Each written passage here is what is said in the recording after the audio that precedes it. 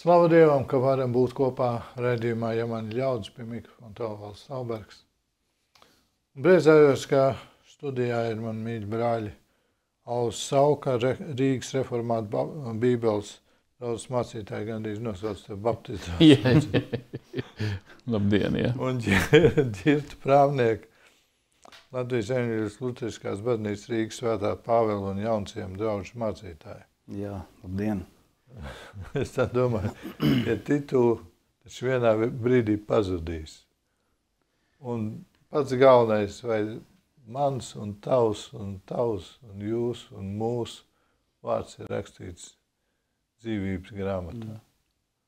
Nevis kā Rīgas reformāts, ja Rīgas LB, ne, LB, Cits, cits tu, tu ar tiem burtiem labāk nevajag sakt. ar tiem burtiem tur ir liela bāla un tur ir. Jā, jā, jā. jā. Brīžiem liekas, kas tas pa bālu tur klāt pieliks. Nu, bet labi. Bet atcerieties, ā, nu, es nezinu, vai jūs atceraties, bet es nāku no tā laikmeta, kad viss bija um, Gipro zem, piemēram, sa, saīsinās. Lats, Lats ceļ hozi. Jā. Bet kā cilvēkiem deva vārdu? Vārdus agrāk meļasts. Vārds bija, es pazinu cilvēkam vārds meļasts. Tas nozīmē Marks, kā- kā- kā Marks? Engels meļasts. Meļasts, nu krievs. Marks Engels, Marks. Marks Engels, Ļeņins, Staļins. Nopietni, tas nav joks. Tur bija daudz tādu vārdu. Nu, bet beidzās ar aste. Meļa Nu, tas bija krievi, krieviem asta nebija. Meļa aste.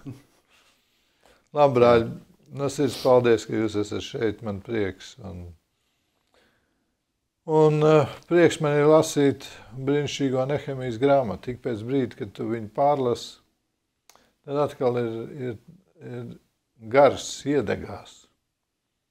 Gribās iet un darīt. Jo nehemijas grāmata ir apņemšanās. Protams, vispirms Dievs atklāja situāciju, kāda ir, bet pēc tam ir viena vīra apņemšanās. Un pie tam, wow! Mēs pat Es teiktu, atsaukšanās Jā, uz pareizi. dieva aicinājumu. Pilnīgi, pilnīgi piekrīt, atsaušanās. Un visa upurēšana. Jo viņš jau nezināja, kāda būs tā, tā reakcija no ķē- ķēniņa. Viņš bija gatavs, labi, ja, ja es tur arī palieku. Nu, vairs, jo paklausies, cik viņš bija tur nu, projām. Trīs mēnešus, ne vairāk. Un, un tikpat labi nu, ķēniņam kāds bija vajadzīgs atrast tagad uzticam dzērienu devēju, kas nepiebers miegs Pats zeltu. garšos. Jā, kas pats garšos. Jā, jā, un tik uzticam. Un, un paldies, nu labi, tu tādu izvēlējies ceļu, ej. Bet nē. Slavu Dievam. Lasīsim um, Nehemijas grāmatu otro nodaļu, sākot no 11. panta. Nehemija saka, es iegāju Jeruzalemē un paliku tur trīs dienas. Naktī es cēlos, kopā ar mani bija daži vīri, bet es nevienam neteicu, ko man Dievs sirdī bija licis darīt. Jeruzalemē. Man nebija cita lopa kā vien tas, uz kura es jāju. Naktī es iegāju pa ielējas vārtiem uz šakāļu avotu un mēslu vārtiem. Es pārlūkoju sagrautos Jeruzalemes mūrus un ugunī sadedzinātos vārtus. Es pagāju garām, garām avota vārtiem pie ķēniņa baseina, bet tur nebija vietas, kur mans lops tiktu cauri. Tad naktī es kāpu augšā pa ieleju un pārbaudīju mūri. Atpakaļ es nokļuvu pa ielējas vārtiem, tā es atgriezos. Bet ierēģi nezināja, kurp es biju gājis un ko darījis. Es vēl to nebiju teicis jūdiem, priesteriem, dišciltīgajiem ierēģiem un pārējiem, kas strādā. Apstāsimies šeit uz īsu brīdi. Nezinu, brāļ, kā jums. Es dzīvē esmu piedzīvojis šo situāciju. Un esmu gan, uh, kā to varētu teikt, izgāzies, un esmu piedzīvojis svētību. Situācija tāda, ka Dievs kaut ko man saka, un es uzreiz pasaku brālim, zinu, šodien man Dievs sacīja. Kā tu domā? garām. Piedzīvojis esmu, protams, tagad es esmu daudz gudrāks. Piedzīvojis esmu Dievs, ko sacījis. Nesaku nevienam. Pat sievai nē. Tu nedrīkst no rīta sacīt sievai. Un tad Dievs svētī. Un tev ir, tev tas izdodas jums ir bijuši. Jo tad, kad es šo te lasu, es nevienam neteicu, ko man Dievs sirdī bija licis darīt. Ķēniņam jau viņš jau bija jau izstāstījis no vienas puses, ja tā skatāmies. Jau zīme, zīmes priekš, meža pārziņa un, un kas tur viss. Paskaties, lai iziet cauri teritorijām, bija vajadzīga atļauja. Un bet viņš vēl joprojām nesaka to, ko Dievs atklāja. Beigās, bet ierēģi nezināja, kurp es biju gājis, un to viņš arī nesaka. Kā viņš to visu apskata? Klusām. O, ko jūs sakat, brāļi? Jums ir tāda pieredze bijusi? Ja es sāku, tad uh, man patiesībā ir tā, ka droši vien tās lietas, ko es domāju, ka Dievs kādreiz saka, es, uh, es, ne, es esmu nesu viņus vienkārši vienmēr kaut kādu laiku, laikam, sevī. Tagad uzdot jautājumu, es domāju, jā, es laikam ne uzreiz saku. Jo vispirms man pašam vajag kaut kādu laiku, lai saprastu, vai vispār tā nav mana ideja. Jā. Vai kaut kāda doma no kaut kurienes. Nu, tā, tas vien jau prasa laiku, kad es nevienam nesaku. Jā, um, te man liekas arī tas moments, ka viņš ir Jeruzalemē, kā teica, ķēniņam viņš pateica, zīmes viņš darīja, saorganizēja vai ne visu, bet tā kā viņš nonāca tajā vietā pie tiem cilvēkiem, ar kuriem kurus tas tieši skar, tur viņš neteica. Un tam jāsaka, ir kādas lietas, um, ko es esmu kādreiz bijis tādā arī spriedzē, arī draudzē, kur ir kādas lietas, ko es, uh, es nesaku, kaut arī es zinu, ko es uh, darīšu vai kas būs, un, uh, bet es to neatklāju kādreiz līdz galam. Mm -hmm tā ir, tā ir bijis. Un, un iemesls kādreiz ir tas, ka nezinu, nevaru teikt, varbūt bailes, nedrošība, bet tāda pārliecība, ka es teikšu, tā kā Jēzus kādreiz saka, nu, tā kā teica mācekļiem, tagad es jums to vēl nevaru teikt, jo jūs to vēl nevarat nest. Ne? Mm. Bet es varbūt kādu soli esmu gatavs darīt kaut ko, un tad pēc kāda laika, tas pats viņiem varbūt atklājās, vai viņi paši to ierauga. Bet, uh, Bet ir tā kaut kāds laiks vajadzīgs pašam man saprast, izvērtēt un, uh, un pirms kā kādam nu, vispār teikt. Izņēmums varētu būt, ja es kādreiz esmu kādas lietas teicis, ka man šķiet, ka Dievs kaut ko saka, vai kā, kādam uzticamam cilvēkam vai ticīgam brālim padalos, palūdzu pajautā, vai tu arī redz, vai tas arī tiešām, kā, ko tu teiktu par to, mhm. Vai, ne, vai, vai tas varētu būt no Dieva. Jo kādreiz tā, ka nu, ja grūti atšķirt, kas ir no Dieva un kas ir mans, mana gribēšana, vai uh, varbūt tas labas lietas vienkārši Dievs tās nav teicis. Mm -hmm. Jā, es tikai gribēju varbūt, tas, uh, atgādināt arī radioklausītājiem, nezinu, mēs, par ko mēs runājam. 538. gadā Kīrs sakāva Nabodīnus Babilonijā. Mēs Daniela grāmatā to lasām, vai ne? Un, un, un viņš, viņš tātad Persija iekaroja mēdī, mēdī un, un 537.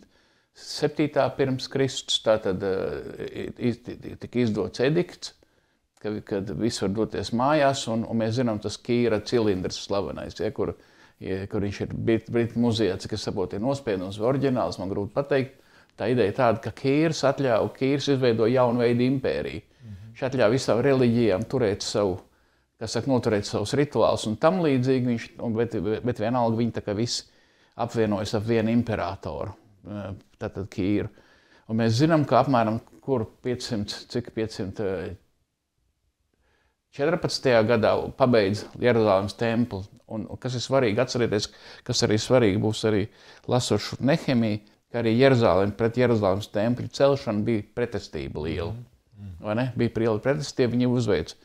Un tagad, tagad bet, bet tad šie mūri nav uzcelti, un ja mūri nav, vai ne pilsēta nav droša, un mēs zinām, ka ne, Nehemija jūtas slikti, vai ne? Nu, cik es saprotu, mūri bija, bet viņās plaisas bija. Nu kā mūri nojaukti, mūri nojaukti tad, jā, kad... nevarēja pat lops tur iziet. Caur. Jā, tur bija nojaukti, tur bija akme, akmeņu, jā, un, un, un, un, un akmeņu kaudzes un tam līdzīgi. Bet cik interesanti, kā, kādā veidā es speciāli, es arī iepriekš es cenšos iet pēc sarakstu un lasīt caur viens gadu laikā visu bībeli, nu tad dažādas programmas.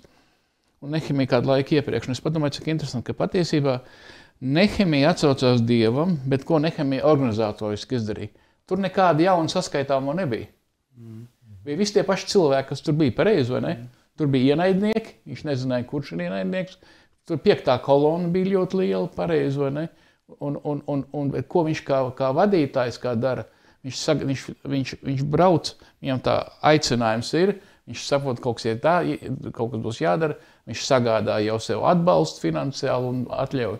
Bet tad viņš ir pats un to sauc Mm, mēs, kad mēs universitāti beidzam, mēs vēl padomju armijas virsnieki bijām. To sauc no angļu vārda rekogniscirovka, eh, angliski reconnaissance militārai. Citiem, kā viņš stāstīja, ka nu, kādā veidā, viņš saka, kādā veidā jūs virsnieki darīsiet. Viņš saka, nu, ot, jums ir uzbrukums, un tanī, tanī rajona uzbrukums. Viss jums stāsta, nē, nē, nē.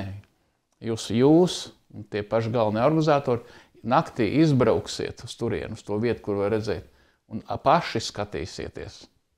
Paši, -hmm. kā tur ir. To, to dara, to dara, to dara uh, Nehemija, lai viņam būtu skaidrs pašam bilde, kāda ir reālā situācija. Viņam būtu skaidrs. Viņš vēl nezina, kādi ir cilvēki, vai ne? Būs pret vai par viņš skata, vai ne? Bet viņam ir skaidrs, kāds darbs, kas būs jādara. Un tas ir ārkārtīgi svarīgi, ko viņš naktī iziet, lai neviens viņam netraucē. Lai nenāk ar kaut kādām idejām klāt, viņam nejaukt. Ja? Tī, nu. Nu, nu, viņš rada sev pašu, savu priekšstatu. Viņš savu, viņš ir pats jā, redzēt. Jā, jā. Jā. Man liekas, tas eh, Nehemija, nu, eh, viņš no Dieva saņēma aicinājumu, un viņš ir saņēmis arī atbalstu. Atsaucies, jā. Un, un arī, ko varēja saorganizēt. Tagad viņš ir nonācis tajā vietā, un man liekas, ir, viņš nonāk kā līdzīgi, kā mēs arī, kad mēs kādu aicinājumu saņemam, eh, mēs nonākam, mums ir skaidrs, kas ir jādara. Man vienmēr, nu, tas jau vienmēr ir skaidrs, vairāk vai mazāk. Bet lielais jautājums ir, kā to izdarīt. Un, lai to kā atbildētu, tev ir, jā, ir jāredz. Vispirms tas ir. Tev ir aicinājums, tev ir kāda materiāla, bet tev ir jāsaprot, kā, kā es to darīšu. Kā, kā. Un to tu nevari atbildēt, kamēr tu neesi palūkojies, redzējis. Un man liekas, ka kā ir daudz sarežģītāk atbildams reizēm nekā tas, eh, kas. Ne, jādara, protams, Kā jā. tev jānorganizē viss, tev viss jā. process, viss tam jā, jā. jā. Un to bez tā, ka tu pats tajā esi iekšā, nu, tas nav iespējams, man liekas, jā, izdoties. Jā. Interesanti arī, kad es, kad, kad kad es, es tā kā finansu universitātē fakultāti beidzu.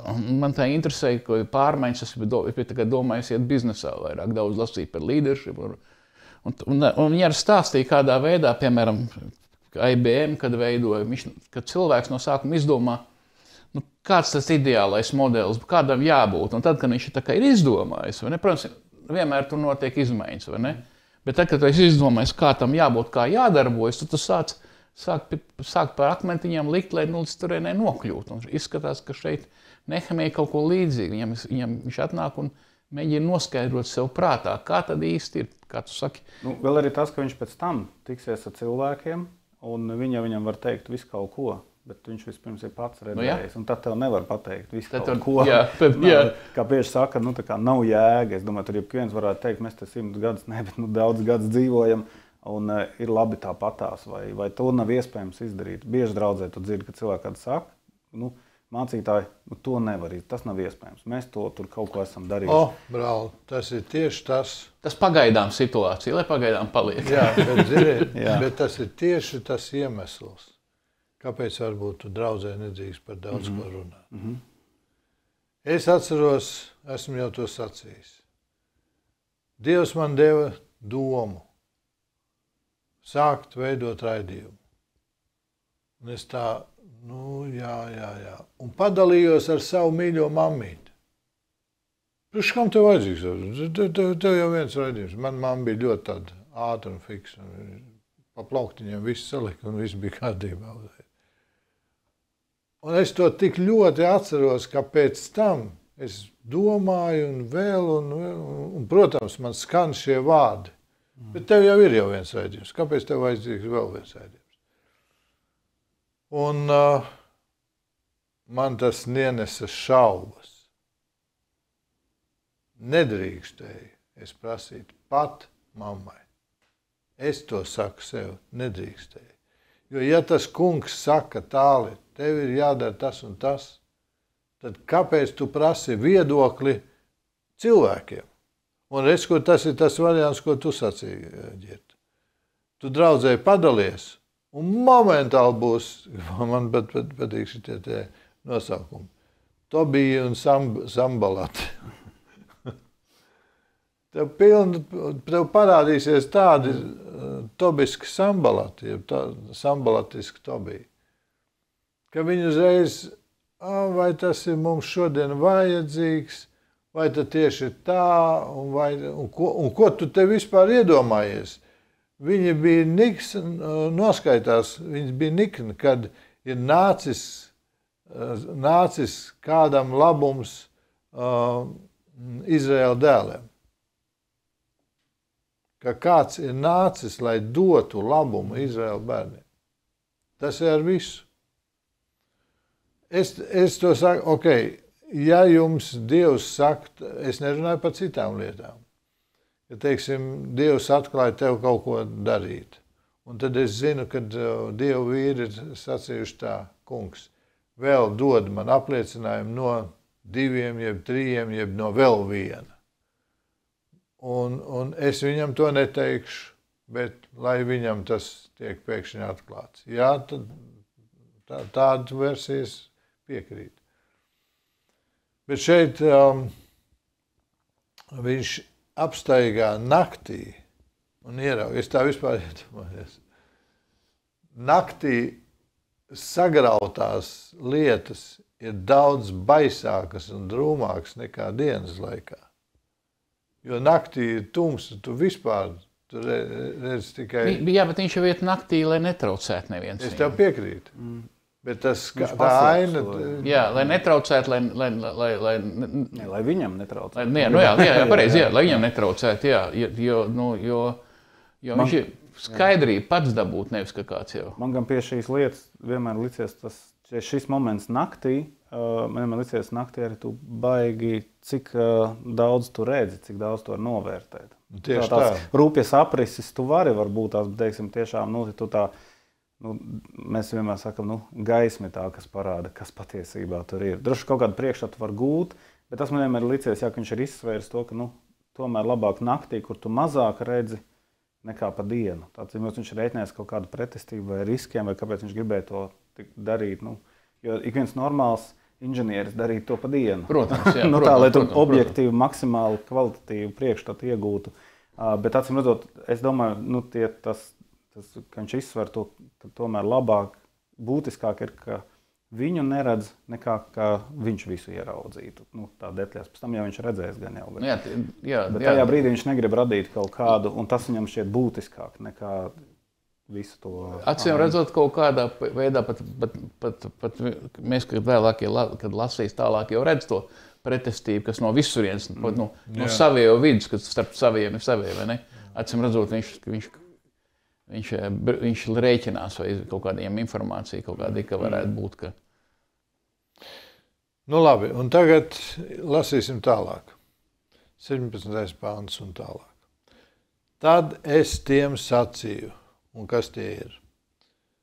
Tie bija jūdi, priesteri, dišciltīgie, ierēģi un pārējie, kas strādāja.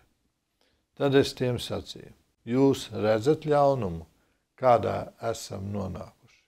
Jeruzaleme ir panīkusi un tās vārti ir sadedzināti. Nāciet, atjaunosim Jeruzalemes mūrus, lai neesam par apsmiegu. Es tiem stāstīju par savu dievu, ka viņš ir bijis man labvēlīgs, un arī to, ka man bija teicis, ko man bija teicis ķēniņš. Un tie teica, sāksim atjaunot, un viņa rokas apņēmās darīt labu. Kad to uzzināja Horonietis Sanbalats un Kalps, Amonietis Tobija un Arābs Gešens, tie izsmēja un nicināja mūs sacīdami, ko tad nu jūs taisāties darīt? Klausieties tālāk. Dumpoties pret ķēniņu, bet es tiem atbildēju.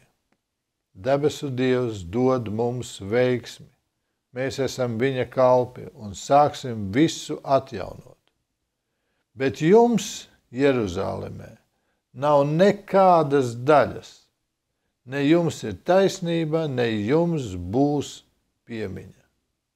O, kā šie vārdi man iepriecina. Kāda, kāda pārliecība, kāda noteiktība. Labi, brāļi, nerunāšu. Ko jums saka šie, šis, šī Nehemijas jau nu, var, varētu teikt, pirmā tikšanās ar, ar, ar cilvēkiem, kas to darbu darīs.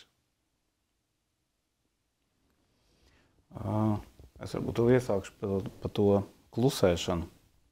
Un, te viņš nāk un saka, un sāk ar to, kāds posts tas ir, kurā mēs esam. Un es domāju, arī par to klusēšanu, teikšanu un neteikšanu ir tā, ka eh, Nehemija man liekas ļoti ir ok, ka viņš saka, ka viņš nesaka, neatklāja visas lietas uzreiz, jo tas, ko viņš grib darīt, ko Dievs viņu ir aicinājis, ir kaut ko uzcelt. Un uzceļot jau patiesībā, man liekas, tas ir, tā ir tā vieta, kur var neteikt un var kādas lietas sākt darīt. Ja Nehemijā būtu uzdevums nevis nu, teikt, sūtīs nojaukt kaut ko, es domāju, tādā mūsdienas tādā draugu kontekstā, jeb kalpošanas, tad man liekas, būtu ļoti uh, kaut kādā ziņā netaisnīgi klusēt. Tas vienkārši par tā jautājumu, ko, ko teikt, ko neteikt, man liekas, tā ir vēl viena lieta. Un Nehemija neko nepareizi nevar izdarīt, jo viņš ir aicināts uzcelt, nevis kādas lietas nojaukt, nu, kas tiem piedara, jeb kas viņiem būtu. Un, kad uzcēla, man patīk, nu, droši vien tā mēs visi kādreiz darām, ka mēs vienkārši uh, to ir stāvokli konstatējam, ne? Un Nehemija arī sāk pie tās vietas, kā ir? Un man patīk tas, ka viņš ieslēdz sevi tajā iekšā. Kādā nelaimē mēs esam. Jo viņam patiesībā ir tā, ka, man liekas, kurš varētu teikt, nu, tu tur no malas esi atbraucis, vai ne, un saka, ka mums te viss ir slikti, vai ne. Bet uh, viņš ieslēdz sevi iekšā un sāk, ka viss ir izpostīts. Un viņa, es nezinu, nu, kā viņš to teica, bet uh, iepriekšējā nodaļā ir rakstīts, kas maniem ir uzrunā, ka viņš uh, ka viņa, viņa tas viss sākās ar, ar sāpēm par to un uh, ar raudāšanu. Pirmie nodaļā teica, ka viņš raudāja, par, kad viņš dzirdēja tās lietas, kas notika. Un man liekas, ka mēs, uh, ka Dievs visas, kad cilvēku uzrunā un aicina kaut ko uzcelt, viņš sāk arī pie tā paša ir stāvokļa, ka viņš ļauj viņam ieraudzīt un ka tām lietām, pirms mēs ejam kaut ko mainām, viņam vispirms mums jāsāk sāpēt. Un tikai tad, eh, man liekas, mēs tā ar sirdi patiešām esam gatavi tam darbam vai tam aicinājumam. Un, uh, viņam sāka sāpēt tas, kas tur ir, un tad viņš nāca Dievu priekšā, un tad Dievs viņu deva viņam to uzdevumu, jeb aicinājumu. Un, un te viņš nāk pie cilvēkiem un saka, mēs savā ziņā to pašu redzam, mēs esam lielā nelaimē, vai ne? Nu, tā paliksim, vai, vai tomēr darīsim kaut ko, vai ne? Nu, tā. Tas tas man varbūt pirmais pie šī Jā. posma sākt ar to atzīt, to realitāti, kāda viņa ir. Un, uh, tur jau cilvēki ir ilgu laiku dzīvojuši tādā Jeruzalemē, un mēs jau zinām, nu, nav nekā. No 504, nu, jā, tur paudzes jau. Jā, nu tā, un es kā pats kādreiz dzīvoju mājā, mums bija uh, sienas apskrūvētas, kādreiz bija darbnīca, viņas bija, bija apskrūvētas ar skaidru plāksnēm. Un tam man pirma, padomu laikam, pirmais likās, nu tā pirmā lieta pārkrāsot, pārtaisīt visu. Bet tad es biju students, tad nebija naudas, nebija laika, tad bija kalpošanas. Un pēc diviem gadiem man tā kā likās, tā kā es sievai smējos, teicu, ka man jau tās koks patīk. Nu, tā. Jā, jā, jā. nu, kad tu pierodi pie tā tik ļoti, ka tev, tu vairs neredzi, un tad tiešām es arī jautāju, vai kādreiz vai, vai Dievs nevarēja kādu Jeruzalemē uzrunāt. À, bet lai, viņi jau bija tik ļoti uzauguši ar to visu, ka viņi to pat nevar ieraudzīt vai redzēt. Tikai kāds no malas Saka, kā nehemija. baisu, baisu, baisu patiesību. Tu saproti, ka cilvēks jāpierod. Mm -hmm. Un ātri patiesībā. Pierod pie, kā mēs šeit, jūs redzat ļaunumu, neredz ļaunumu. Jūs redzat briesmas, kas tuvojas, neredz neko. Es tā iedomājos šodien. Es to varu sacīt mīļiem radioklausītājiem, skatīt, mums visiem. Vai mēs redzam ļaunumu, kādā esam nonākuši? Faktiski mēs redzam ļaunumu, kādā esam nonākuši. Latvija. Izglītības sistēma ir izglītības, jeb dezinformācijas sistēma. Kā graut cilvēku vispār domāšanu. Tas, tas taču ir graujoši. Medicīnas sistēma. Ir medicīna, kas domā par cilvēku.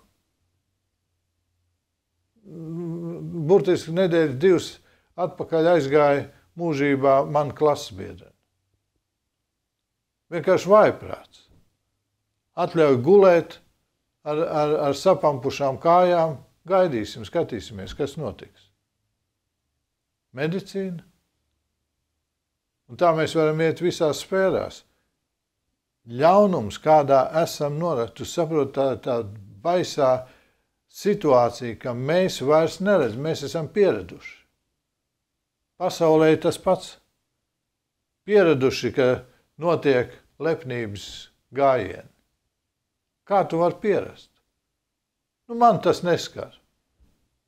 Un reiz mēs jau esam tik tālu jau pieraduši, ka mēs vairs neceļamies. Man patīk šis virsraksts, celsimies un celsim. Mm. Mums vajadzēja tagad nesen tikai piecelties, cel, celsimies un parakstīsimies. Bum, garām. Tā, tā ir baisa patiesība. Vārti, es šeit skatos ne tikai fiziskos vārdus. Par tiem mēs varētu daudz runāt, kuri vārti ir nopostīti un sadedzināti Latvijai. Bet es runāju, man vairāk sāp par garīgiem vārtiem. Brāļi, jūs taču redzat, vārtu durvis ir vaļā. Var ienākt iekšā jebkas, nu kā, demokrātija. Var, var, var nākt viss, nekāda, nekāda aiztura, nekāds sargs, nekāds. O, nu labi, pasaulē tas, ir, tas tā ir. Bet, kad plūst iekšā draudzēs, jūs, brāļi, paši zinat to, kāda tā ir cīņa, lai ap, apturētu to. Tur nepārtraukti tev ir jābūt nomodā. Es, brāļi, to redzu šeit, radio. Nepārtraukti ir jābūt nomodā, jo pa vārtiem nāk iekšā, no sākuma ienāk tev, wow, cik brīnišķīgs un, un, un labu vēsti nesīs un cerību. Un, un paiet trīs, ja pieci raidījumi, totāli maldi. Bats. Un ja tu to nenosargā, tad viņš tik brīnišķīgi izplūst un ie, ieplūst iekšā, ka tu vairs nemani, tu vairs neatšķiri. Pagaidi, vai, vai tiešām mēs jau ļau, ļaunā, nu tālu, nu ko tu visu laiku sabiezini krāsas? Nu tas viss ir kārtībā. Un brāļi, paskatieties, 17. pantā. Vai mēs esam Dieva bērni, un to es uzdodu jautājumu visiem Dieva bērniem. Man patīk šie, šie nehemijas vārdi. Lai neesam par apsmieku. Brāļi, mīļie, mēs jau sen jau esam kļuvuši par apsmieku. Sen jau. Ar, ziniet, ar ko? Ar nedarīšanu. Vienkārši, Alde, tu jau sacīji, cik tur paudzi sev ir uzauguši pie tiem noārdītiem vārdiem. Vienkārši, nu, nu tā viņš ir. Jā, ir tāda lieta, ka cilvēki, teiksim, kādā sliktā situācijā, viņi kā dzīvo. Jā. Bet ir slikti. Labi nav, bet es kā dzīvoju. Bet ir bailes kaut ko mainīt. Jā. Ir bailes. Nu, protams, ir slinkums, teiksim, neapšaubām, vai ne? Tur vajag organizēt pieredums, bet tad ir bailes iet nezināmā. Piemēram, arī tagad ir laulība, laulība, kā mēs, kā mēs teiktu, um, nu, nu, kur, kur vīrs, teiksim, piemēram, izturās slikti, vardarbīgs, ja? un sieva tā kā baidās nu, pārtraukt to lietu. Ja? Baidās, baidās, jo, jo ir tā kā neziņa, kā tur būs, tom tam mm. līdzīgi. Un arī šeit tā, ne, tā, Cilvēki vienmēr baidās, kas, kas nu labi, tagad ir slikti, bet mēs tā kā dzīvojam vēl. Un kas būs, kad, kad no, tā neziņa, ja, jo tur priekšā arī būs liela pārbaudījuma, visādi cilvēki un tam līdzīgi. Bet man liekas, ka vēl viena laba lieta, viņš ne tikai, kas viņus arī stiprina, ne tikai pats ar savu piemēru, bet viņš arī jau parāda, ka viņš saka, ka ķēniņš ar mani arī runāja tomēr šī gadījumā. Jā. Viņš parāda, ka Nu, ka nav vienkārši viņš piecēlās, ka man ir, man ir no dieva dots un viss, un saka, oh, paldies. Vakar arī onkulis teica, ka no dieva. Nu, viņš, viņš jau dod viņiem, viņš saka, ka tas ir nopietni. Mm -hmm. Ka viņš nav vienkārši cilvēks, kas, kas bļaustās, kas ir, teiksim, mūsu situācija būtu tāda, kas pieceļās un saka, esmu pārdomājis un skatieties. Ja? Mums te, piemēram, nav ķēniņa vai nekas palīdzēs, bet cilvēks, kas ir, kas ir, viņš ir saņēmis, viņš ir pārdomājis, viņš parāda situāciju, viņš loģiski parāda, ka tā situācija ir izsināma. Jā, un ka viņi redz, jā, viņi tiešām, ka viņš, nav, ka viņš neizdomā kaut ko neiespējamu, mm. bet ka tā situācija ir reāli risināma un uzlabojums būs patiešām fantastisks. Mm. Ziniet, kas man vēl nāk, nāk atmiņā? Neskaitāmas, neskaitāmi aicinājumi uz tā, neskaitāmi aicinājumi tautai. Es runāju tādu par Latviju. Nāksim kopā, darīsim, mainīsim, gāzīsim veco, būvēsim jauno. Un patiesībā, kad paskaties, tas ir viss ir no, no cita avota nāk tas aicinājums. Tas nenāk dievišķs aicinājums, bet tas nāk sautīgs aicinājums. Un tad, protams, tauta aiziet, tauta, un tauta izklīst un notiek viss pa vecam. Jo ja nav dievišķais aicinājums, tad tur nekas nevar sanākt. Un ja, ja tauta uh, un, un vadītāji nesaka, redz, kur Dievs mūs sauc. Nu, vai tad tiešām mēs nesapratīsim, ka esam par apsmieklu?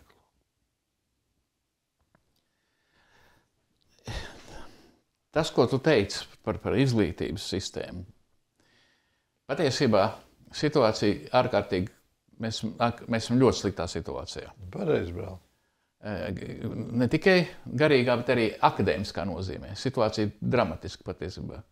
Pat ja agrāk, teiksim, vecāki sūtīja bērnus uz skolu, bērns saņēma to 4, 5, vai, nu, tad viņš apmēram zināja skolas, teiksim, kādas skolas prasības.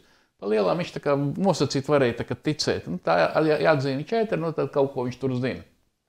Šodien jūs vairs tā nevarat, pa lielam nevarat. Daudz, kur vēl var, kur inerts, kur skolotāji cenšas. Bet pa lielam tā, diezgan tās prasības ir noārdītas. Nu, pat tās bija arī pirmās vidusskolas, kur es arī beidzu skolotāju, pieprasīju nomainīt to bezjēdzīgo jauno programmu. Un atkal uzrādījās pretinieki citur. Mm -hmm. Viņiem, ja? Es tā kā uzticētos tomēr pirmās vidusskolas skolotājiem. Pats esmu beidzis un es zinu, ja, kad, ka, kā matemātika var iemācīt. Nu, kā vidējam cilvēkam var ietrenēt, ja, kad, nu, domāšanu. Bet patiesībā tas, ko, ja, ja, ja piemēram, tās partijas, tur, ka kā brāļi, tur mācītāji dažādās vietās ir, ja, ja, ja viņi panāk sekojošu lietu, ka valsts arī atbalsta privātu skolu tikpat daudz kā valsts skolu. Mēs taču visi maksājam nodokļus, pareizi. Bet, un ne vairāk, bet ne mazāk. Un, piemēram, valsts skola saka, jums vajag 30 bērnus, lai dabūtu skolotājs tādu algu. Privāta skolā saka, nu, mums būs 15 skolnieki. Nebūs tik liela, alga. Nu, to, to starpību mēs zinot, mēs piemaksāsim. Bet telpas tikpat daudz, apmaksā valsts kā valsts skolā, ja siltumu vispārējo. Nu, ekvivalenti pielīdzināt. Ekvil, jā, būtu ekvivalents, jā. Un, un valsts man pateikt, Ot, viņam jānākārto šī, jānokārto šī eksāmena, viņam jāzina šī teorija, jāzina Darvins. Jāzina. Es visu to iemācīšu. Es jums iemācīšu Darvina teoriju. Mm. Es, mani bērni zinās labāk nekā parastās vidusskolas bērni, jo viņiem vispār neinteresē nekas. Ja? Un, un, un, bet, ja to mēs panāktu, ja to panāktu, tad, tad mēs jau varētu sot, jo, jo tad mēs, ak, mums nāktu ne tikai kristiešu bērni, mums nāktu citi. Ja mēs pateiktu, mums akadēmiskais līmenis būs labs. Ja? Bet alternatīva nav paredzēta. Jā. Jā. Piedod, es tas sarūktināšu. Bet tā... ne, bet tāpēc jācīnās par to. Tas vienīgā, tā, jo, mēs, jo, jo privāti jau tur, tas ir tādas naudas, ka grūti. Jā, bet brāļi, tas ir jāsaprot, ka um, valdībai, kura nav par tautu, jeb tā kā mēs šeit lasām, kur skaidri un gaiši e, Nehemija pasaka, jums te nav nekādas daļas. Jums, te, jums arī nav nekāda taisnība. Un nemēģiniet šeit ieviest savus svētkus un savu kaut kādu kārtību. Un te nebūs arī jūsu piemiņa. Mm. Paskaties, ko viņš te, uh, saka. Un, un tādam sanbalatam un, un, un, un visādiem balatiem to dzirdēt. Bet redz, kas ir?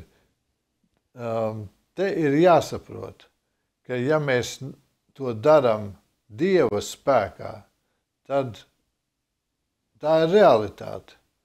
Dumposimies pret ķēniņu. Šodien tā ir realitāte. Mīļie brāļi, šodien nav realitāte, ka dumposimies pret ķēniņu. Nu pat vajadzēja tos pašus parakstus uh, likt, Par ko? Faktiski dumpošanās pret ķēniņu. Realitāte. Mēs esam precīzi tādā pat uh, realitātē. Un tad, nu, nē, nu, nu kā tad es tur, nu, nu, man neviens netraucē, es arī nevienu netraucēšu. Nu, vai tad tie vārti tur tik nozīmīgi ir? Nu, lai viņi stāv sagrūž. Garām jau tiek. Man patīk tas, to pieminēto citātu, vai ne, nav nekādas daļas un nav nekādas tiesības. Jo tad nu pat minēja par to izglītības sistēmu. Un, man arī vienmēr gribas teikt, dzirdēju kādu arī akadēmiķu reizi sakām, tā kristīgi akadēmiķis teica, uh, valstī nav bērnu. Viņa grib mūsējos. Nu, ja? Un viņai nav nekādu tiesību uz viņiem. Un tāpēc arī man liekas, tieši es varbūt tās teikt, alternatīvu skolu, man liekas, pat manās skatījumā nebūtu, tā būtu opcija demokrātiskā sabiedrībā. Bet patiesībā tas, ko es gribētu, gribētu patiesībā, ka skolotāji arī kopā ar vecākiem nostājās un pasaka, uh, jums nav tādas tiesības. Tie ir mūsu bērni un vecāki primāri skolas, skolas programmu apstiprina nevis valdība, bet vecāki. Ko mēs gribam mācīt, ko mēs gribam bērniem. Tā man liekas, būtu tā, tā primārā. Jo, nu, kad vecāki, tur varbūt mums vecākiem jāmācās pašiem uzņemties tādu atbildību, vai ne? Saprast to. Bet uh, man liekas, ka, ja tā skatās, tad tas, kam tajā skolā, kādai programmai būtu jābūt, to būtu jāapstiprina uh, vecākiem patiesībā, kas savu bērnu tur, tur sūta. Valstī vajag tos bērnus, taču viņai savu nav. Viņa veido priekš sevis nākamās paudzes, vai ne? Un arvien vairāk šobrīd mēs arvien vairāk arī atgriežot vecākus, atņemot viņu tiesības, ja spēju ietekmēt, ja pateikt, kas ir labs, kas nav labs, kas ir pareizs, kas ir balts, kas ir melns. Viņi saka, viņi mēģina paņemt to galveno balsi, kas pateiks un iemācīs bērniem, kas ir kas. Un tad nākamā paudze būs tā, kas dzīvos tajos sagrautajos mūros un teiks, soul is life. Nu, tāda dzīve, viss ir normāli.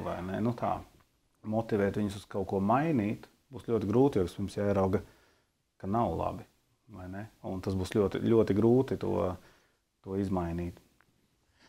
Tu ļoti labi to pateici, un, un, un, un uh, es došu piemēru no Amerikas, bet, bet, bet mēs neesam tālu. Diemžēl jaunās, um, jaunās jocīgās partijas spēlē Amerikā. Valsts skolām ir, ir tā kā, tā kā tādi, e, nu, kā lai pasaka, padomu pāri. Un, un, un tad, kad vecāki saka, mums nedara, padomu ieceļ, tad ministrija, viss no valsts nāk no augšas uz leju, no Vašingtona, mm. DC uz leju. Ja? Un kad vecāki saka, nē, mums nedara, ka mums mācās skolās tādas lietas, mums nedara, pret šiem vecākiem tiek uzsūtīta virsū e, policija, krimināla policija, FBI. Nē, nu, viņi tiek, jā, viņi viņi, viņi tiek uzskatīti par teroristiem. Bet. Pret viņiem vairāk cīnās nekā pret bandītiem. Ja? Un, un, un, un patiesībā šī, šis mēris ir atnācis uz Latviju, kad, kad patiesībā liela daļa demokrātiskās partijas un šie cilvēki neieredz Ameriku. Grib iznīcināt. Jā, Amen. Domāju, jā. jā. jā. Ne, es domāju, pie tā, ko teicu, arī, daudz cilvēku varbūt tās tur eh, nekā nepraksies. Tieši tas bija arī Covid laikā daudz kur dzirdams, ka cilvēki bija tajā spriedzē, kā tas dumpis. Paklausiet, ne. Viņi to redzēja nevis jautājumā par patiesību, pareizi, nepareizi, bet viņi to redzēja kategorijā dumpoties, jeb nē. Ne? Un dumpoties tagad slikti. Ne, nu, negribās būt tādā nu, stāvoklī, jeb vietā, un ja to tā parāda, noliek, tad daudz sāk arī ieslēdz to atpakaļ gaitu un saka, nē, es jau it kā esmu paklausīgs, varam baznīca māca tā, mums jābūt paklausīgiem. Es negribu būt dumpinieks, negribu būt tas uh, opozīcija, malējais vai ne tur. Uh, nu, tā, gribu, un, un tas rada tādu lietu, ka tu vienmēr to nostāda. Arī daudzos šajos procesos to arī baznīca, kad saka par apsmieklu, nostāda tajā apsmiekla, jeb muļķa, jeb opozīcijas kaut kādā vai vecā, izmirušā dinozaura stāvoklī. Kā, nu, tie jau ir tie vai ne? Un tev vispirms jāmēģina nu, pierādīt to, dabiski, un kuram arī gribās, jā, un kuram, un, un, jā, un kuram gribās vispār būt tajā pusē. Daudz vienkārši uzreiz saka, nē, nu tad es būšu otrā pusē. Viņi pat neiedziļinās tajā jautājumā, tajā būtībā, jeb sekās. Viņi saka, es vienkārši negribu būt dinozauru pusē, vai ne, es būšu progresīvu cilvēku, demokrātisku cilvēku pusē. Un viņiem šķiet, viņi tic tam, ka tas ka viņi... Un tā ir katastrofa. Šādas, es zinu, brāl, precīzi, ko tu formulē. Tā ir katastrofa, kas ir ienākusi mūsu baznīcā. Kristus miesā, Kristus līgava ir saindēta ar šo te domāšanu. Saindēta. Jo es tev došu um, um, vienu jautājumu. Ja tu gribi būt draugs pasaulē, tad tu vari būt draugs Dievam. Man Bībele pasaka, tas nav iespējams. Absolūti Tas nav iespējams. Un mēs meklējam draudzību ar, protams, mēs vispirms esam atraduši draudzību ar Dievu, slavu Dievu. Un pēc tam mēs meklējam draudzību ar pasauli. Un kaut kāds marazms. Vai kad beidzot mēs Dievu bērni sapratīsim to, ka vienmēr mēs būsim dumpīgi pret pasauli, un mums ir jābūt dumpīgiem pret pasauli. Un tagad visi uh, drošības orgāni, lai sakoncentrē savus ausis. Es ne, neaicinu fiziski iznīcināt uh, Latviju vai kaut ko tamlīdzīgu. Bet garīgi mēs nedrīkstam būt tādās pat domās kā ķēniņš. Nu šodien, mm. mīļie, ja, ja draudze, viena draudze, jeb draudzes locekļi, patieši Dievu bērni, ir tādās pat domās kā mūsu ķēniņš, Nu, tad man ir jautājums, kāpēc viņš vēl atrodas draudzē? Ap pilnas draudzes ir. Un te ir tā problēma. Tāpēc, ka grib būt draugs pasaulē. Ne, nu, tāpēc, ka mēs nevaram izvairīties un izbēgt no tās pasaules. Paga, paga, paga, paga. Nu, tādā, tādā kontekstā. Nu, Bet kāpēc tu... tu esi šeit? Jā, pareizi. Mums, mēs nevaram, mēs nu, dzīvojam jā. šeit. Un... Bet tu taču esi pārstāvs ar pavisam citu vēstu. Tu nevari darīt, sekot līdzi un, un, un, un, un piekrist visam tam, ko dara šeit pasaulē. Nu, protams, ka nē, bet es gribu teikt tieši tas, ka tu esi tajā pasaulē. E, tev ir tas, tas nu, kārdinājums, izaicinājums, Jā. spriedze, spiediens. Jā. E, Jā. Tu gribi būt uh, veiksmīgs arī šeit šodien, vai ne? Un es saku, man ļoti patīk kāda glezna, kur kādreiz kur bija uzzīmēta, ka nesos mākslinieku vārdu. Viņam bija daudz tādas interesantas gleznas. Viena bija glezna, kur suņi spēlē pokeru. Un, un, tā kā, bet tu tur nevari piedalīties, ja tu vari spēlēt, tad jau tu esi suns. Bet tikai suņi piedalās. Jā, jā, jā, jā. Un to pokeru un tu kā gribētu, bet tu nepiedari. Tev jākļūst par, nu, un te ir aptuveni tas pats, ja tu gribi spēlēt tajā spēlē, pie tā galda. Tad tev ir jākļūst nu, par sunu. Tu saki, bet es neesmu, man identitāte cita. Bet, un tu bet stāv tajā spriedzē. Bet... Es esmu draugs loceklis. Es esmu kristīgs. Tev būs jāizdara izvēle vai nu vai nu. nu kur, kur... Tad korintiešu vēstulēs man tieši sanāca, kad mēs sludinājām, sanāca, nokļūt pie, pie viena laba vēsturnieka, nu, palasīt viņa grāmatu. Viņš arī interesanti saka, viņš saka, nu, kur ir tas par to balto akmeni uzreiz, kur tas Pāvils saka, nedrīkstat piedalīties viņu simpozijos. Jo kur ir ideja? Teiksim, teiksim, notiek simpozijas. Vienreiz gadā notiek liels simpozijas par olimpiskajām spēlēm, un tiek uzaicināti visi vīrieši, bet vīrieši, kas ir nu, jau pilsoņi, jau cienījami. Tur visi, tur visi būs, tur būs visi. Tur būs ķēniņš vai ķēniņa vieta, Visu biznesa pārstāvu, tur būs viss. Mm. Un tu saņem uzaicinājumu. Tur plus būs, protams, pārišana uz rēķina, tur būs, tur būs eh, priekmāja atvest, viss tur notiks. Ja? Ne tikai labi uzdzīvot, bet tur arī būs. Ja tu neesi starp viņiem, ja tu nepie, mm -hmm. un tev pa brīvu tev nomaksāt. Un tu, mm -hmm. Jautājums ir, tu vari neierasties. Bet tu būsi ārā no spēles. Ārā, jā, nu tieši tas, jā. Tu, jā. Vai nu tu spēlē pēc šiem noteikumiem, un esi viens no mums kā mēs? Jā. Ja tu neesi, tu nevari spēlēt. Jā, un, un kā, kā spēlēt? Un te ļoti gudrība vajag. Būt kā gudriem, kā, kā čūskām bez viltus, kā baložiem. Un šeit jābūt ļoti gudrība. Nu, te ir vēl viens, es pilnīgi piekrītu gudriem, kā čūskai un bez viltus, kā bazo, bazūnai. Ba, ba, ba, baložiem. Bet viss nu, manuprāt, vislielākā sērga, kas ir pielipusi, jeb kas ir kā vīrus, kas ir ienācis traudzēs, tas ir kompromiss ar pasauli. Tā ir vislielākā, vislielākā sērga. Es ne, neapšaubu, ka Dieva bērni lasa Dievu vārdu, es neapšaubu, ka viņi lūdz, es neapšaubu, ka viņi ziedo uh, draudzēji un, un kopā nāk un kopā dzied un viens otru iedvesmo, iedvesmo, bet šobrīd tas modernais vārds, es viņu man viņš kaitina, izaicinājums, challenge. Nu, nu, labi, nu savādāk nu, ne, ne, nepateiks, ja? bet vecos laikos tāds izaicinājums bija savādāk. Es tevi izaicinu uz dueli. Tas bija vecos laikos. Tagad mums viss ir izaicinājums. Mēs šobrīd ar vārdu izaicinājums bieži apzīmējam vienkārši grūtības. Ko agrāk teikt, grūtības. Vienkārši. Bet izaicinājums gan ir. Es teiktu, es teiktu, redzēt šajā vārdā to, to dueli, to domu, tas, kas man ir tas, nu, tā cīņa. Jā. Vai ne? Bet mēs gribam iet kompromisā. Mēs nevis gribam, mēs meklējam tā, lai pašiem būtu ērti un tā, lai būtu, bet tas nestrādā. Paskatieties Nehemijas gadījumā.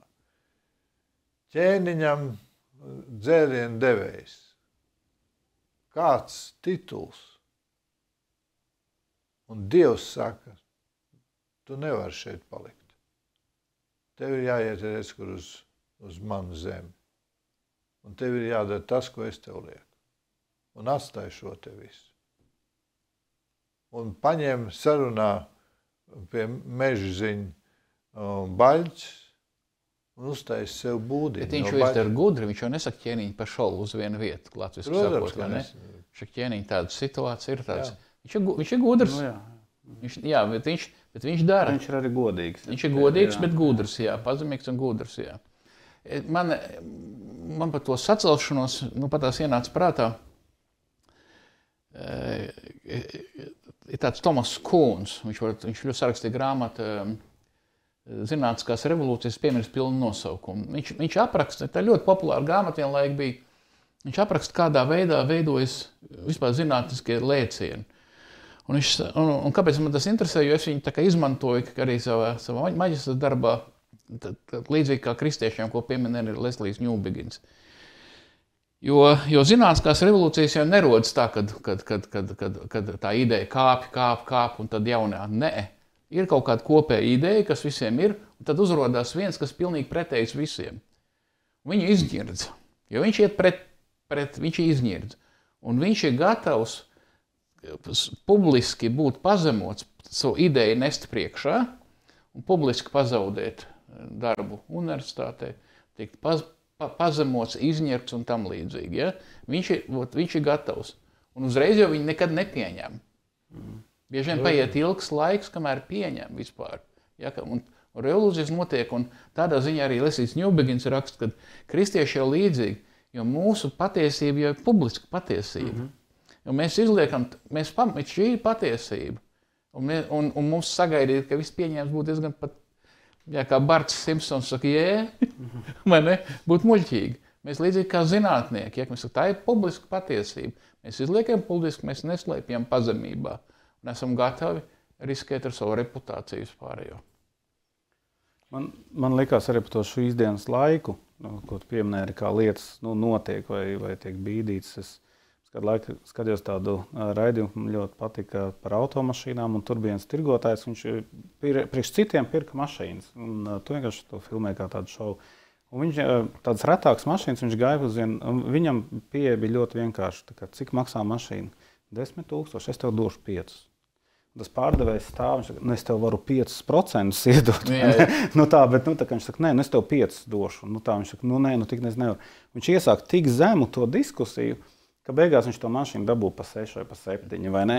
Ko atlaid viņš nekad nebūtu dabūjis, bet viņš iestartēja ļoti zemu. Un es redzu šobrīd to pašu mehānismu tikai, un jā, nākamajā reizē aizejot uz to pašu placi pēc pāris mēnešiem. Tas viņu jau pazīst. Viņš saka, nu, tu jau zini, cik es tev par šo mašīnu došu. Jā, jā. Uzreiz nost. Tas otrs jau ir gatavs uz to, un viņš pie sevis jau apsver, nu, labāk es tik nekā vai gaidīt to, vai kā. Un man liekas, tas process notiek arī sabiedrībā šobrīd otrādi. Mēs brīnamies, kāpēc mēs esam tik atvērti. Mēs tikko parakstus vācām un gandrīz savācām gadu atpakaļ, vai ne? Uz vienu lietu. Tagad uz šo mēs fenomenāli maz varējām savākt. Un man liekas, ka tas ir tā, ka, ka pie mums kādreiz arī dara tieši to pašu procesu, ka atnes kaut ko tik ļoti absurdu, ka mēs visi uzlicam kājās, mēs visi kaut ko darām. Un viņi saka, nu labi, vai ne? Bet viņi tik un tā pārdod un dabū to savu, bet mazāk. Nākamo reizi nākot jau mēs jau esam kaut kā gatavi. Mēs sakām, nu, labi, ka nav tik traki kā toreiz. Nu, jā. bet vismaz šito. Bet patiesībā mēs ar solīšiem, solīšiem ejam. Un, jo mums liekas, mēs kādreiz domājam, nu, kā var tik absurdu nest vai darīt. Vai ne? bet jo absurdāk tu nes, ne? Jo mazāk nu, jā, melus, tu pēc tam tu, vari pārdot. Šo sistēmu izmanto politikā gatavināšanā, iemet galīgi absurdu ideju, kā saka. Tas ir tik traki. Un es redzu to procesu visu laiku, bet es brīnos, kāpēc tā mēs to parakstāmies, kā tas tomēr var nokļūt skolās vai kaut kur, vai ne? Man vienmēr mēs tā izglītēt pēdējos gados, nezinu, vai var to tā teikt, par rādio varbūt pēc tam jāgriež ārā, bet uh, Bet izglītības sistēma ir izvērtības sistēma. Nu, Tāpat tā grāmatā, kas tur parādās, viss, ko mani bērni nekad nezinātu, ja viņiem to nemācītu. Nu, tā viņi nezina, ka vispār tādas lietas ir un kā viņiem zināt, kādas lietas, kas pasaulē ir. Tikai tāpēc, ka viņas ir, vai ne? Un, ja viņas ir sliktas, tad priekš kam? Un, tas ir mans skats, vai ne? Nu, tā nav visas sliktās lietas jāzina. Jāzina pareizās, taisnība un labais. Ar to pasaulē var dzīvot. Saprotu, te ir, man nāk atmiņā bija reakcija no režisora Hermaņa.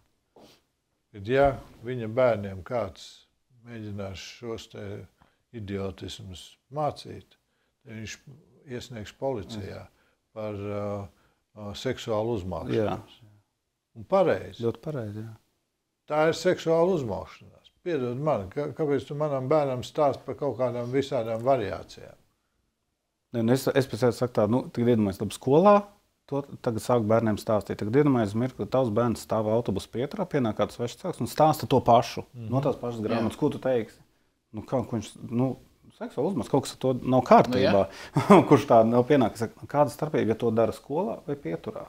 Vai pareizi, jā, pareizi. Kāda piemērs, starpība? Jā. Uh, tā lieta jau nemainās. Nu, no tā, vai, ne? vai viņi tur legāli vai nelegāli, vai skolotājs to stāsta, vai kāds. Nu, tam nav Bet, brāļi, man, man noslēdzot mūsu raidījumu, mums vēl ir jā, 5 minūtes. Noslēdzot raidījumu, atkal un atkal cauri un cauri es redzu to pašu problēmu, kas bija ēdienas dārzā. Dievs saka, rīkojies tā. Cilvēks sāk diskutēt, piedalās pie visādiem diskusiju raidījumiem un vēl nezinu kur. Un lēnām tev dod vienu izaicinājumu, otru izaicinājumu, bišķiņi piespiež kaut kur. Nu, un paskatieties, cik viltīgi. Vai tu negribi saprast, kas ir ļauns un kas ir labs? Nu kā? Nu, redz, kur čūska vienkārši saka, nē, nu paprovē, un tu vienkārši sapratīsi, kas ir ļauns un kas ir labs. Pats noteiksi, kas ir ļauns un labs. Tas ir tas, ko čūska piedāvā. Nevis Tieši. Dievs noteiks, bet tu Jā. būsi tas, kurš izlēma. Dievs gribēja pasargāt. Mm. Viņš saka, to neaiztiec. Un tas pats notiek šodien. Mums liekas, ka mēs varam diskutēt ar sātanu, ka mēs esam spējīgi diskutēt ar pasauli. Nu, ko tur mēs lai diskutējam? Nu, ko mēs lai diskutējam, ka pasauli iet šobrīd mm, kosmiskā ātrumā uz pašiznīcināšanos? Totāli. Bet mēs tomēr diskutējam. Es droši vien piemetinātu rietumu pasauli primāri. Domā, rietumu kultūru lielā tu, mērā. Tu domā, Eiropa neiet uz pašu? No, nu, tā, ir, tā ir rietumu kultūra jā, manā jā, skatījumā. Jā, jā. Es domāju, jā, par tā morāla vērtībām. Te ir tā ideja par to, ka, uh, ka cilvēks domā, ka, ka viņa racionālais prāts, ka viņa racionalitāte ir kritērijs. Jā. To arī Sātans saka Ievai. Ieva, nu es pieaugusi, nu tev taču es pat racionāli. Bet mēs jau patiesībā, ra racionalitāte jau ir līdzeklis, nevis kritērijs. Pareizi. Mm. Un katrs cilvēks klausa vai kalpo kādam. Līdz ar to cilvēks saka, o, jums ir autoritāte, Bībele, Dievs. Un tad mums jājautā, kas ir jūsu autoritāte, pastāstiet man. Ja? Jo, jo cilvēks vienmēr pakļaujas kādai autoritātei, mm. pielūdz kādu autoritāti, un, un, un diemžēl tā problēma lielākā ir, kad mēs kā baznīca nevis, nevis, nevis pakļaujamies, nevis mūsu racionālais prāts ir līdzeklis, lai mēģinātu saprast, ko Bībele saka un kā skatīties uz pasauli. Amen. Jā, bet mēs, jā. mēs kā saka, mēģinām skatīties uz Bībeli ar to jā, jā, jā. pāri. Jā, ar pāri, jā. jā, jā. Lai Dievs pasargā mūs. Brāļi, paldies. Um, faktiski Nehemijas grāmatu, teikšu godīgi, šādā rakursā es pirmo reizi lasu, domādams par šodienas realitāti. Es daudzkārt esmu izlasījis visu Bībeli, daudzkārt esmu lasījis pa, pa grāmatām, atsevišķi un tādas. Vienmēr esmu priecājies. Katrā, katrā grāmatā ir kāds personāžs, kas tev iedvesmo, un oh, es arī tā gribu ticības jautājumā, un, un apņēmības jautājumā, un, un viss. Bet kontekstā ar mūsdienām, kāda tā ir realitāte. Un ne, lai neesam par apsmieklu. Un tagad, kad esam jau kļuvuši par apsmieklu, tad vai nebūtu laiks celsimies un celsim? Atjaunosim. Atjaunosim tos vecos vārdus. Jā, tie ir veci vārdi. tie ir veci mūri. Šodien nevienam nepatīk mūri. Jūs paskatieties. Visās jomās starp tautām nekādi mūri, starp uh, reliģijām nekādi mūri, starp uh, atziņām un, un, un, un, un mācībām nekādi mūri, inkluzīvisms. Tas labs, labs padoms man viņš ļoti patika. Pirms tu nojauc kādu sētu, tu uzzini, kāpēc viņi tika uzcelti. Ļoti labi. Ar to mēs arī noslēdzam. Paldies, mīļie brāļi, paldies. Lai Dievs jūs bagātīgi svētīja. Mīļie radioklausītāji, lai Dievs jūs bagātīgi svētī. Un ar Dievu mēs esam uzvarētāji. Līdz nākošajai reizei. Visu labu! Visu labu! Ar Dievu!